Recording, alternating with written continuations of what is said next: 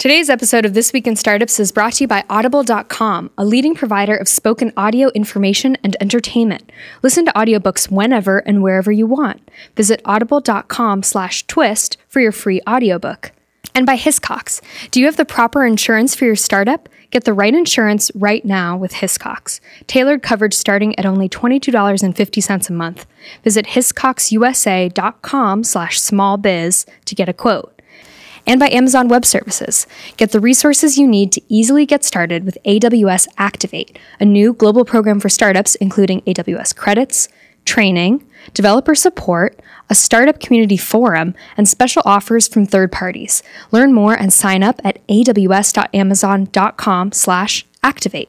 Hey, everybody, it's Jason Calacanis here, and this is This Week in Startup. If it's your first time here, where the hell have you been?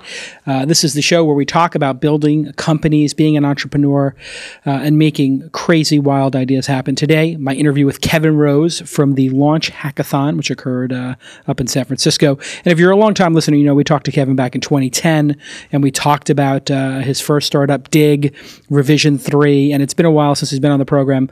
Um, and in that time, Digg was acquired by BetaWorks, and he joined Google Ventures. He's done dozens and dozens of angel investing. Uh, uh, angel invested in dozens of and dozens of companies, and he has the largest syndicate on uh, AngelList, and he's at Google Ventures doing big deals. It's an amazing, amazing um, interview, and uh, what a great guest. Stick around to the end of the episode, and you'll find out if he is ever going to start another company again, or if he's going to be a venture capitalist for the rest of his life. Stick with us; it's a great episode. That's what it's all about, man. They said money is the root of all evil. What? Funny how it feeds my people. Yeah. We ain't gonna live like equals until we get the money, spend the money, and defeat you. Yeah. Money is the root of all evil. What? Funny how it feeds my people. Yeah. We ain't gonna live like equals until we get the money, spend the money, and defeat you. Um, now, speaking of innovation, um, we're trying to all innovate this weekend. We're trying to build things. Um, the gentleman who I'm going to bring up right now is one of the most innovative, great product thinkers, great entrepreneurs of our time. I met him in 2002 or 2003. He had a little tiny site um, called Digg, and I noticed because I was running Engadget and a bunch of other blogs that Digg started sending one, two, three, four, 10 percent of uh, the traffic to those blogs, and I actually tried to buy it. Luckily, he said no uh, for him. Um, but he's been a tremendous entrepreneur and a, and a great friend of mine. Um, and he's going to be super honest with us and give us a lot of great advice. So please welcome to the launch stage, Kevin Rose. And I might add, he was in Dublin, right, for the summit? Yes, founders. Founders. And uh, great to see you, brother. Good to see you. Um, and so you're a little bit tired. Uh, I've had a cold and slash flu for the last week, but I'm over it. I won't get any of you sick. Um, still in my chest though, but well, we glad to be here. We appreciate you coming.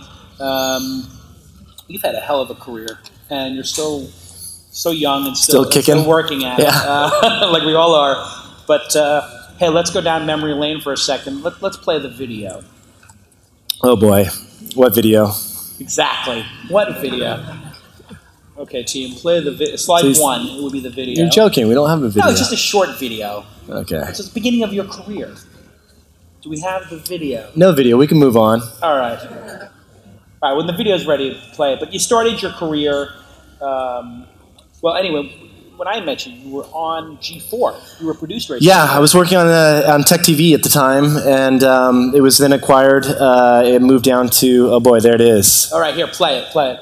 This is your first. There's a service running that lets uh, spammers, or could let spammers, bombard you with messages. Now, Kevin Rose, you all know he's usually over there in the NetCam Cineplus, but he's the guy who found this, and people probably No don't know this about you, Kevin, there. but uh, you're a very sophisticated computer user. You run servers at home, you play with Linux, and, and, and how did you find this uh, hole? Well, just playing around with a couple of friends. You know, we like to take apart computers, just hack them, get into Right. them, and uh, playing around with Chris Kraus from the IT department, good friend of mine, and just uh, started uh, playing around and, and actually started spamming some machines. Well, the first thing you have to do is you have to do a port scan to find out which machines can be hacked. You need my IP address. Okay, very good. So there you have it, Kevin Rose on. Uh, Early 20s back then. And that you're in your twenties.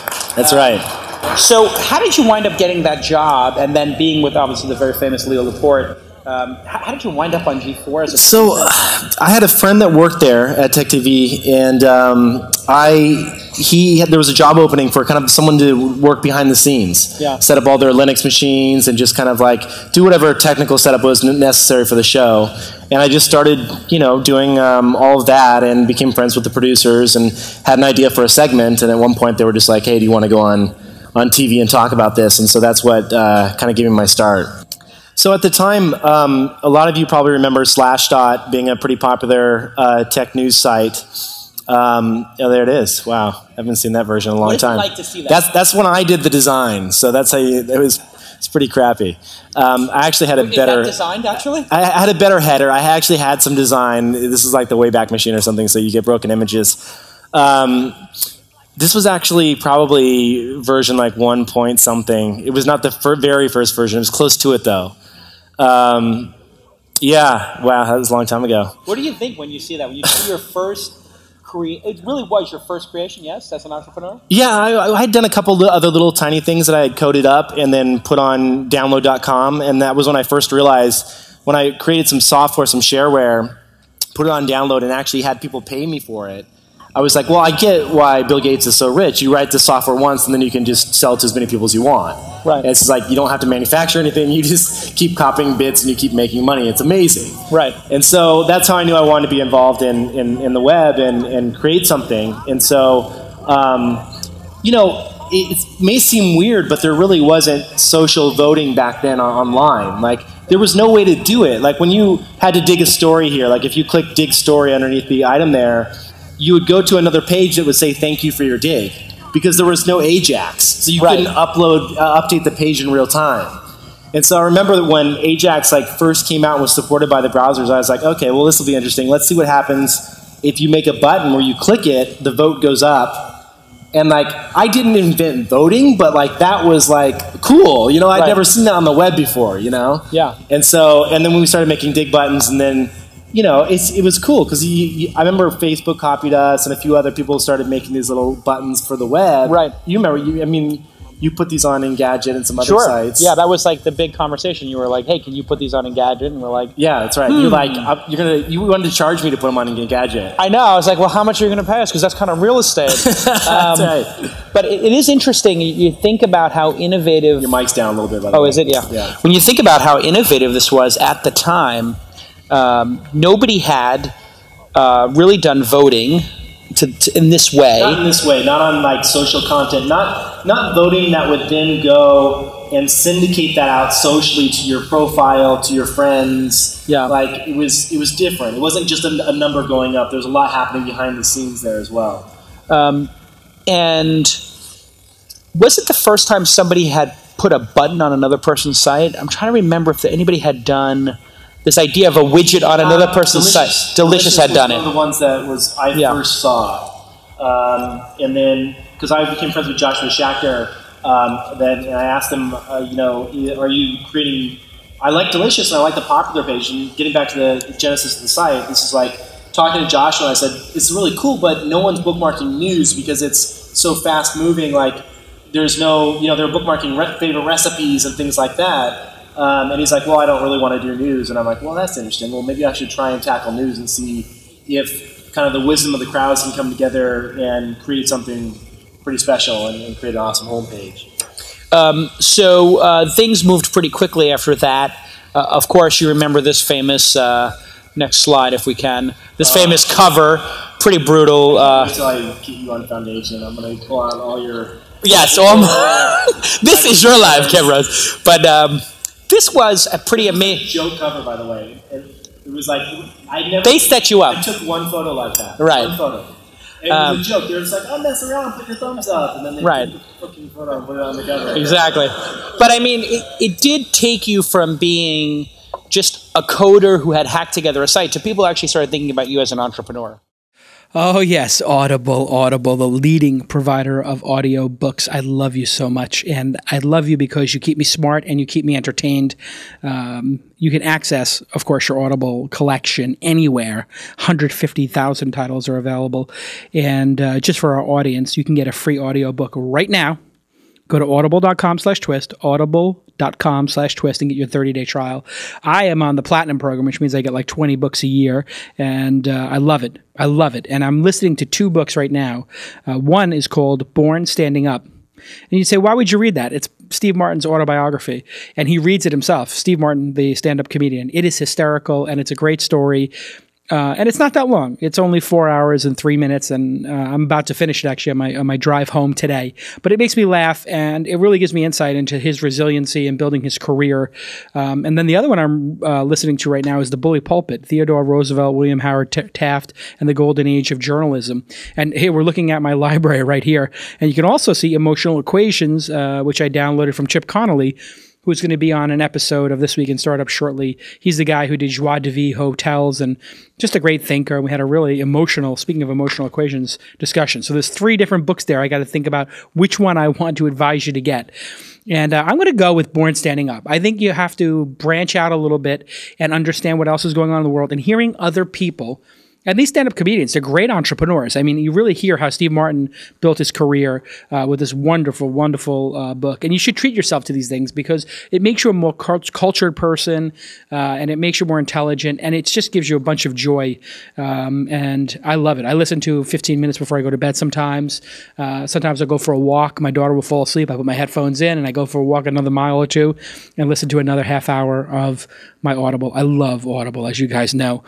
Uh, you can thank them at audible underscore com and send your audible confirmation uh, to audible at launch.co and you'll be entered into a chance uh, a contest to get an ipad mini signed by me. That is going to end on december 18th so get those in. Go to audible.com slash twist audible.com slash twist and you'll get your 30 day free trial.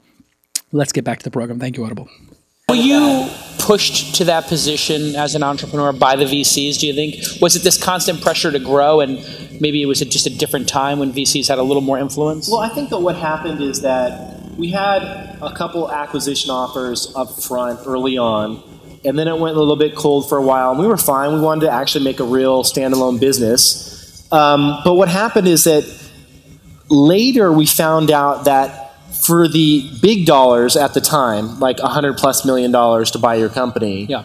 Um, traditional news sites were afraid of Digg. Right. And you'd sit down with them and you'd say, "Well, what do you think of Digg?" And they're like, "Well, crazy experiment, but I don't like the content on the front page. It doesn't really suit our readers, and it yeah. doesn't. It's not so."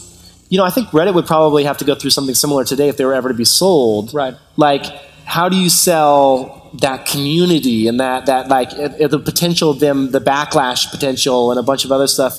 Um, and so we tried to clean it up, I think, which was the problem. Right. And and we really should have just let it be what it was, which was something yeah. special and unique. Um, well, it all worked out. Obviously, you started Revision Three at the uh, during the same period of time, and were able to sell that to Discovery. Again, you were, and, and I always tell folks, I, you know, I, I think that you're a visionary. You're always five years ahead of everything you you were five years ahead of this YouTube movement, and you were able to sell this company as well. But I remember when you started it, Digg Nation and a lot of the shows. The biggest issue you had was it was costing ten, twenty thousand dollars a month to surf up the video files. Yeah, that was really tough. We we were paying, and and um, you know, you, we didn't host our, our, videos obviously on YouTube, so we were paying CDNs for this, and and it was really expensive. And luckily, we had some early sponsors that understood that this was a new thing, and so GoDaddy has paid us, you know, millions of dollars over the year, over the years um, for these videos, and um, they had our back, and and so did Netflix and some others. Um, and that really Ford jumped on on board, and, and all these brands finally got it. But it took a little while. There was definitely a period of time there as well with that business where I was like, "Wow, is this really actually going to work out?" And then it finally yeah. finally took off. Now you did something I, I always thought was pretty brave. You took a hit like Digg Nation, you walked away from it, and you, you didn't let yourself be defined as the Digg guy. Take me through your thinking there that you you just sort of moved on with your career. I mean, what was that like emotionally? being so well known as that brand and then just saying, I'm going to be Kevin Rose, not the Digg guy? Um, you know, it's it's hard uh, in that you've you spend so many years of your life. I mean, Digg was is it was wasn't just this like you know two or three year thing. I, have spent seven plus years of my life there, um, until I, I left, and it was it was difficult to walk away because I really, at the core of me, enjoy the innovation and everything that you guys are going to be doing uh, over the next couple days. The the idea of the really small teams and the iteration and the product side of stuff. Um, that is just so much fun. Like there's there's no better feeling than when you get that kind of bubbling and you can't sit still because you have an idea that hasn't ever seen the light of day. And I I do enjoy that. And so like I I lost that when I walked away from Digg. And it's funny, I was talking um, to Bill Maris, my, my boss at, at Google Ventures, and I said I would never leave for another VC firm. If I ever left, it would be to start something new. Um, because that is that thrill is is just the best thing in the world. I mean, you know, that's why you're a Yeah. VC slash entrepreneur, Right, I can't get out of VC. building. Yeah, Yeah. exactly. Uh, so listen, angel investing though, what a tear you went on. Uh, the hottest company in the valley right now, a lot of people say, is Nextdoor. They just closed a huge round and and they've got incredible metrics. But look at the other things you invested in. I mean, AngelList, Facebook, Zynga, Fab, Twitter, Square, Foursquare. I mean, ngmoco, OMG Pop, both of those were sold.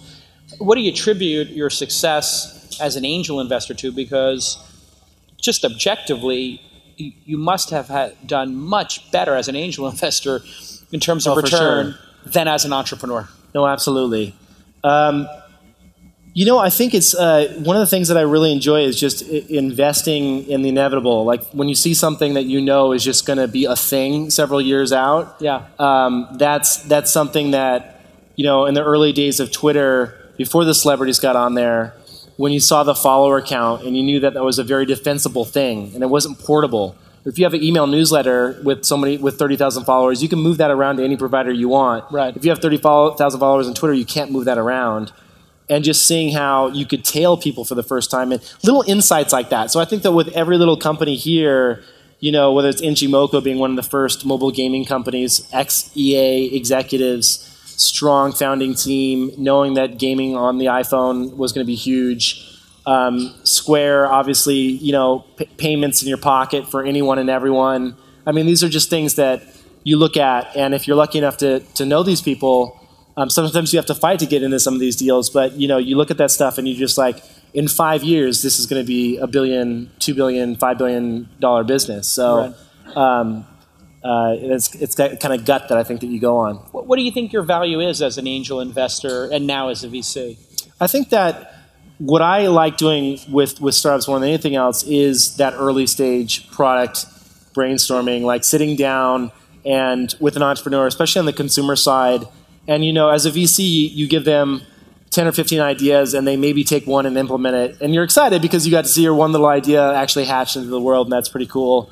Um, but you know, a lot of lessons learned, a lot of hiring practices, things that I've I've done in the past, and honestly, things that I've just really screwed up in the past. That I try and take that, and I'm sure. I mean, we've all been doing this long enough Yeah. now that you have a, a bunch of lessons that you try and pass on, and hopefully help people avoid making those mistakes. And that can be everything from telling someone not to raise a round of funding, you know, just because they should keep growing and grow the valuation of their company, like Yeah. just being real. I think the problem is that like you can't just be especially if you're an entrepreneur then turn investor i think it's a lot better than just taking money from someone that's just a pure investor Why? It- just because you've been there and you know that like ultimately you don't want to screw these people over i mean like they're as an investor i feel like um, Joe Kraus uh, from our team calls it like a check and a headache. Like you don't want to be that person that just like writes a check and then all of a sudden you're in their business all the time. Like these people are going through like so much and and sacrifice from friends and family to hours of sleep to stress levels to you name it. The best thing you can do is just be a friend and just like be there and be give them the truth. And that might mean something that hurts you as an investor, like telling them that they shouldn't raise money right now um, or you know helping them walk them through firing their first or, or layoffs or whatever it may be like and when you've been there and you know how hard it is to lay people off like that's a that's a really powerful thing it's a really tough thing to have to deal with What was that like? I mean, you did that at Digg, I take it. You had to lay yeah i did a folks dig off. and Take revision 3 and then eventually we hired back up for revision 3 but Well, take me um, to that day. I mean, what happened? uh, it was And just how'd you um, make that decision? you know, it's one of those things where um, you only have so many dollars left in the bank, and you have to look at your runway and you say, if we cut 10, 15% of the staff right now. It'll get, get us this that much further. And we know that based on traffic and our metrics and how things are kind of like going a little bit like this now versus just like that, which is the way you want it to be, that you have to figure some stuff out. And the best way is to trim now and, you know, live to see another day and to, to fight the battle again. So just uh, sitting down with employees and having people cry and having people just ask if it was them and then you know, it's, it's, it's just a really tough time. It's a tough thing to go through, um, but it does definitely make you stronger. How did you manage your own psychology, your own emotions, as you as you went through all this tumultuous times? Um, and then, of course, we had the financial crisis during all of this as well in 2008, 2009, when it seemed like everything was going to come apart. I mean, you, I've watched you mature from that kid we just saw on the video over a decade to becoming just such a great thinker and, and such a great mature entrepreneur. But what do you think were the key factors that took you from Kevin Rose 1.0 to sort of an elder statesman now? And you mentioned a little bit of gray hair on the side, but just this great elder statesman counselor from that kid. It's who, honestly just a lot of mistakes. It really is. Yeah. I mean, I, I think that you and I have both been down this and, and, and done it and seen companies that we've worked with or been invested in go up and down. And it's just like, it's just trial and error. And it's understanding that that's not a bad thing. Like, it's not, there's nothing wrong with failing. Like, like 95% plus percent of you will fail right in the next few days, right? Right. And it's just like that, there's nothing wrong with that. You tried Right. something new. That is the cool thing. Right. Is that you hatched your idea. Don't let anyone ever tell you that if you went and built something and it failed, that you're a failure. There's that's not true. Because what did they do? They didn't build anything. They're just Right. like sitting on the sides being haters. You see them on the on the internet all the time on the blogs.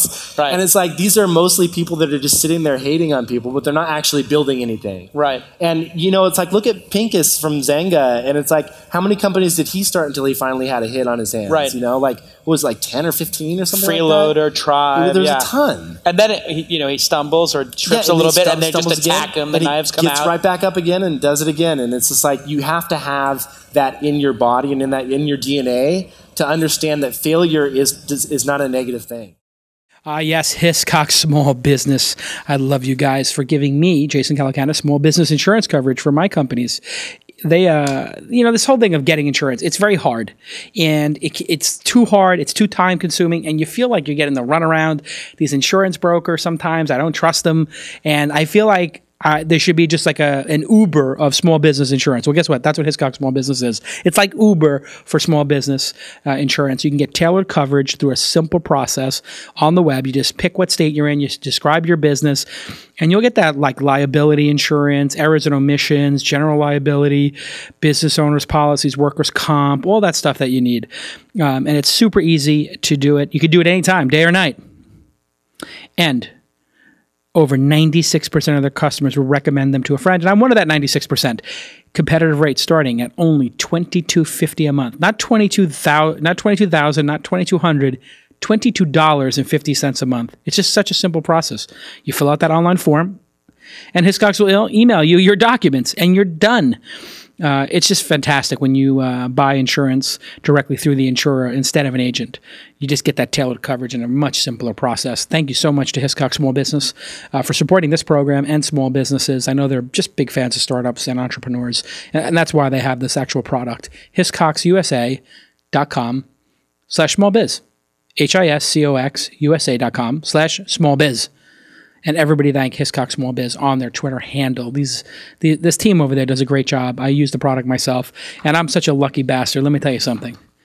You look at all the people who do the ads on the program. They're all people whose products I actually use. That's the white the magic of whitelisted advertising on This Week in Startups. I made a list, the whitelist of the top 25 products I use. And then the sales team, they went and said, "Hey, who wants to be partners on the program?" And Jason will read your ad because he can read it because he uses your product and he loves it. And Hiscox is one of those companies. I love their product and I have no problem reading their ad because I would tell you if we're having drinks at the battery, I'd tell you the same thing. Get Hiscox. All right, let's get back to the program. Let's talk about this AngelList syndicate thing that came out of nowhere. Um, when did you first hear about this from? You're an investor in. Yeah, through Google Ventures. Yeah. You guys invested in AngelList. So take me through what the syndicate is, how you found out about it, and what you think happened here. Because I'm looking at the statistics right now. This is under 30 days old, I believe, or just about that. you have 582 people backing your syndicate for $2.5 million per deal. And uh, that's more than the next couple people combined. What is the syndicate and what impact will it have? So, you know, I remember Naval was uh, telling me about this probably uh, about a year ago. And, you know, this Jobs Act um, came out and, uh, and allows basically solicitation where you can go out and you can say, I am raising a fund, like, do you want to back me? Right. And so what, basically what you're seeing here is on AngelList, you can go, and now I have 582, like, uh, kind of micro in, investors that come in and put in small dollar amounts, anywhere from $1,000 to, some, in some cases, fifty or $75,000 per deal. And then they back you, and then every time you go out and you do a deal, um, everyone gets a little slice of that deal. Um, one person goes on the cap table, and um, it essentially allows me to act as a micro VC. Now, in real life, I, I play a, a, VC at Google Ventures. Right. So I'm actually not taking any carry. So I don't make any money on these deals when I do them.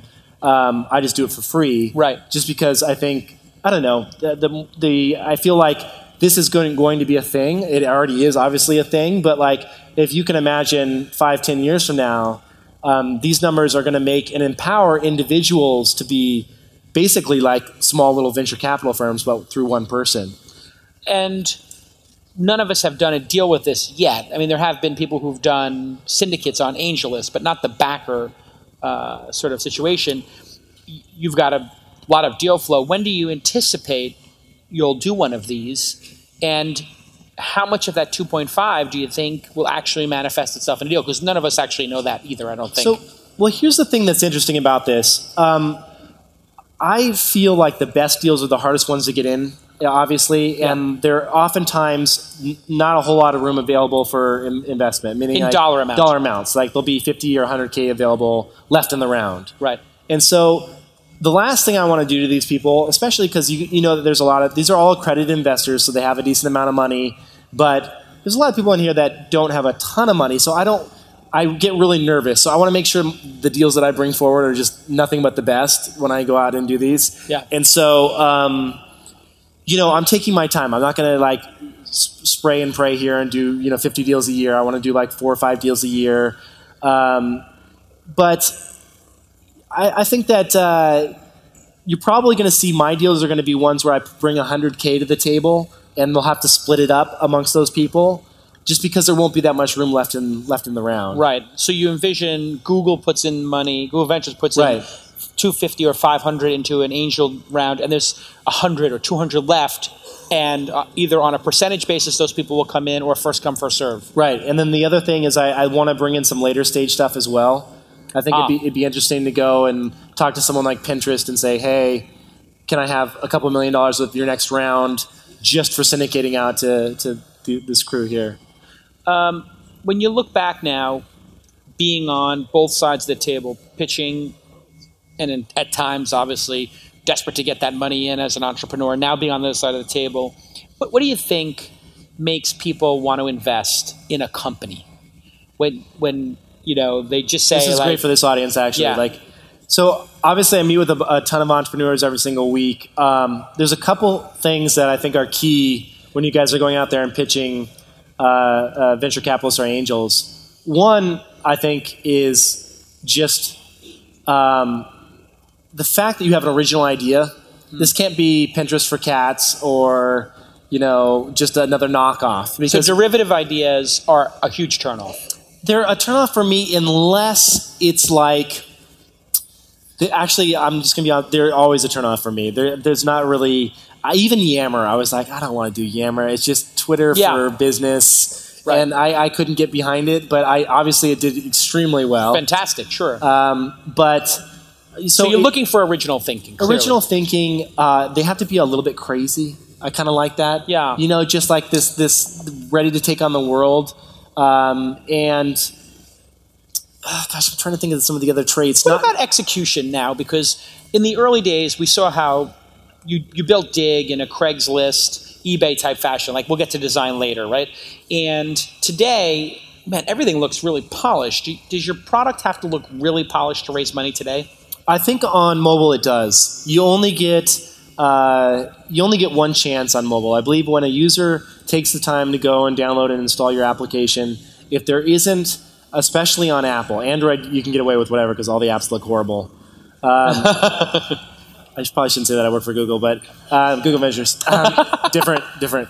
Uh, there's some good Android apps, I, and I'm getting the Nexus 4. Yeah. Um, so I feel that the, the fit and finish has to be there on the Apple pro, uh, Apple side. Right. It just really does. I mean, I don't care if you have to go out and find someone on Dribbble and hire them as a freelancer. You have to have that polish in your application. If a user doesn't like it, they uninstall it. They think it looks crappy. The barrier to entry the second time around. I mean, you're not going to get a user to go out and get so excited that they're going to go and download the app one more time and reinstall it. I mean, it's, it's really difficult. So um, certainly on mobile, the web not so much. I think that you can iterate a little bit more on the, on the web, but um, but yeah, I certainly believe that design is a very important element. I'm seeing a lot more like designer founders now, uh, which is really interesting. You were onto that early. I mean, with Daniel Burka, who was, I think, your sort of Jony Ive in a way. Was that fair to say? Sure, yeah. Dan- Daniel was, has been an awesome designer and partner of mine for many years. And now he's at Google Ventures as well. Yeah, so he's going out and helping out all, the, all of our portfolio companies. Well, what's the scope? And then we'll get to questions from the audience. What's the scope of Google Ventures activity now? And should people, obviously, with corporate venture capital, people get a little nervous, like, hey, it, is the search group going to find out about this? Or how, how do you firewall the ideas between the ventures group and the corporate group? And should people be worried about that? Or why Yeah. shouldn't they? I mean, that's that's the beautiful thing. That's the only reason I joined Google Ventures. I would not have joined uh, GV if it was primarily only a uh, strategic fund. It's not to Google at all. In fact, it, there's very much a firewall in place. So they created a separate company. Google acts as the funds coming in, but they don't have insight and visibility into our companies, what they're working on, and so we keep that all separate. And in fact, I mean, the mandate has been go out and invest in things that are potentially even competitive to Google. They'd rather own a, a next a piece of the next Facebook than not, or Right. whatever it may be, the next big search engine, you name it. Yeah. Um, so that's uh, that's been awesome, and so that gives us pretty much free reign to go out and invest in anything and everything.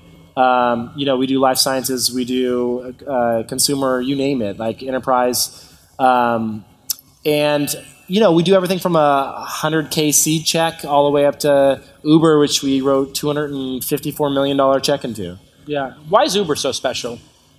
It's um, it's all the things we like. Crazy founder, Travis, uh, super awesome. disruptive, Yeah. uh, uh, makes a lot of money.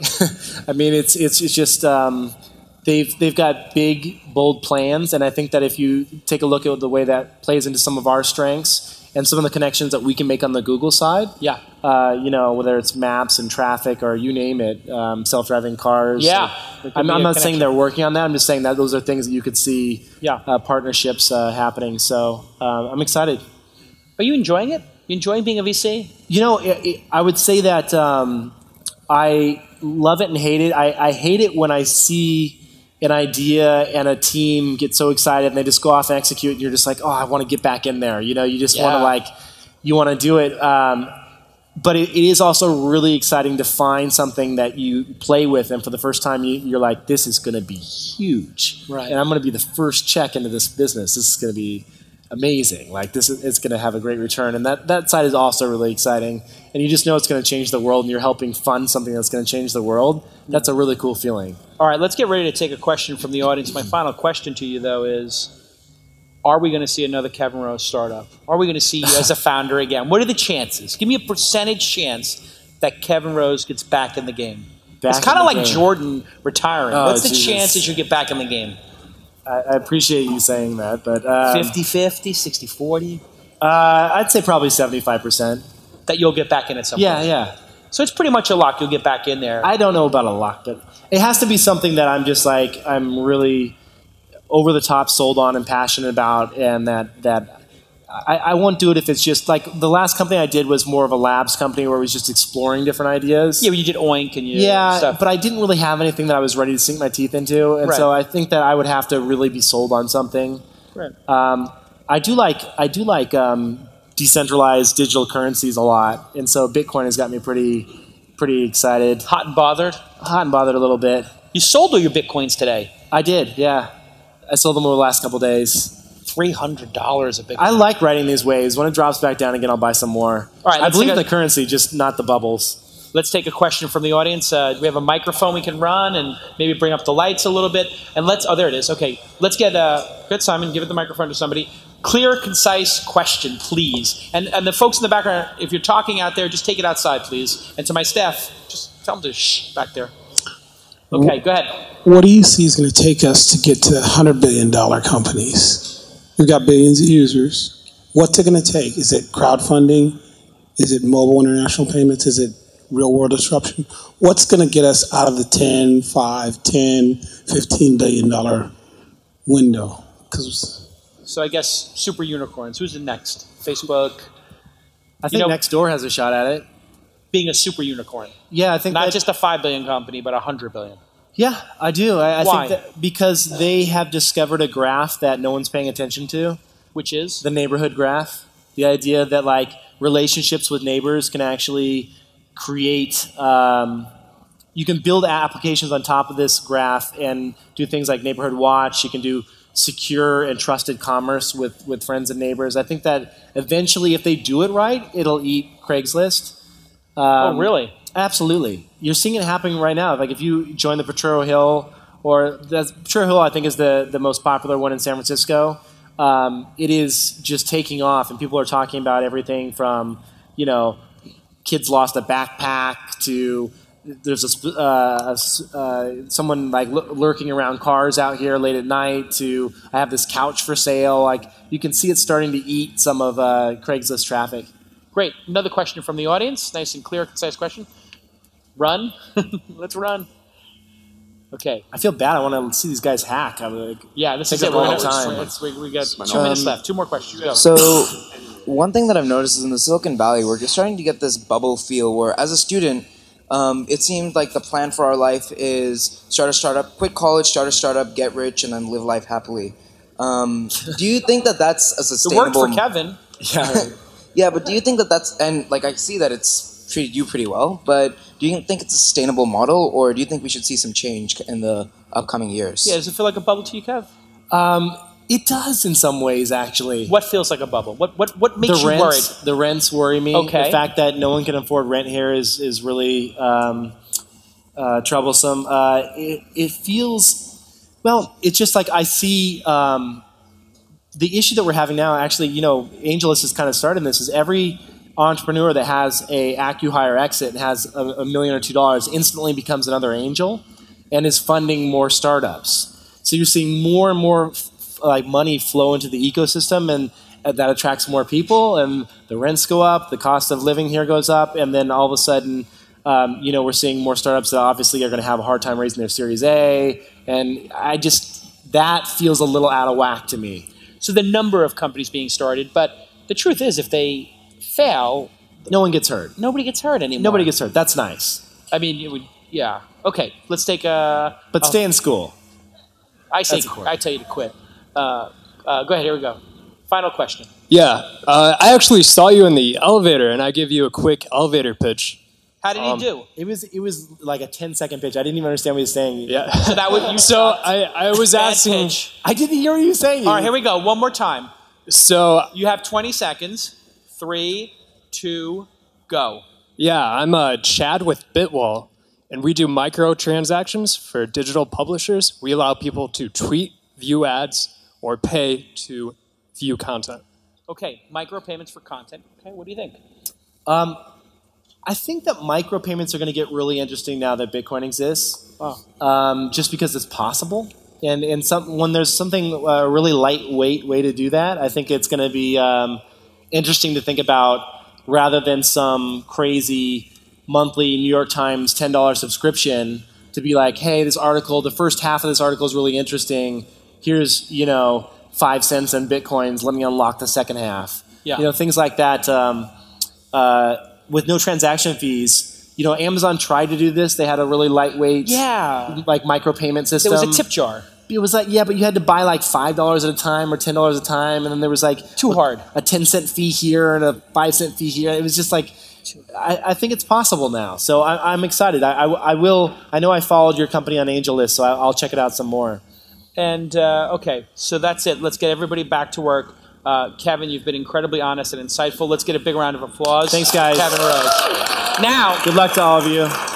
Kevin has also agreed to take a meeting Yes. with the winners of the event. Yep. So they'll get to come to Potrero or Google and have a coffee Anywhere or tea. Well, city. tea. You're a tea guy. I do both.